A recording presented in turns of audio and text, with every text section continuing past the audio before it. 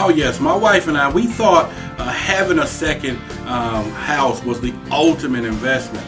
And that's until it became vacant and we found out that we needed instant uh, debt relief and we needed it fast. We tried renting the property. That placed us in more debt because we always had minor repairs. Every time a tenant moved out, we spent more money. Uh, for the next tenant. And so we lost money even when it was occupied.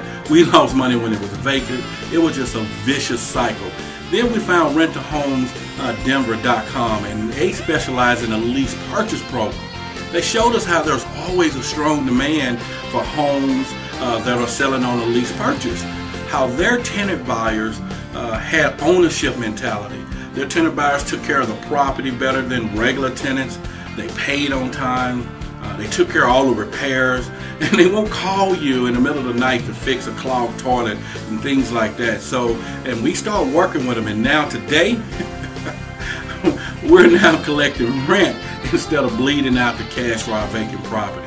And let me tell you, just working with Rent to Own Homes Denver was just absolutely awesome. Go to their website.